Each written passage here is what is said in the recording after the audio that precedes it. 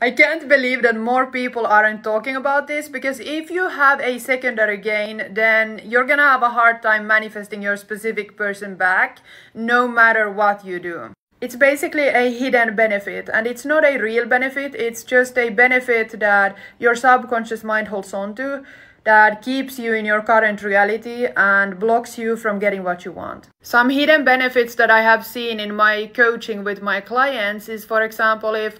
there was a bad breakup and so that client is still holding on to a lot of pain and hurt and resentment, then the hidden benefit here is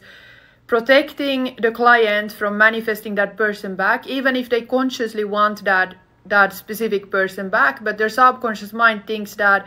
that person means pain that person means hurt. And so your subconscious mind, your own brain is going to protect you from getting back together with that person. If somebody is scared that that person is going to hurt them again and leave them again, then that's going to be the block that is going to stop them from even manifesting their person in the first place. There are so many different secondary gains and it really depends on the person. But another one that I can give you is when somebody wants to stay in victim mindset because that gives them more attention. They have noticed that them complaining about their situation, them complaining about how hurt they are because their specific person did this and that and left them and dumped them and all of those kind of things, they feel seen. They feel heard, they feel understood by their friends or their family members, and so that's gonna keep them stuck.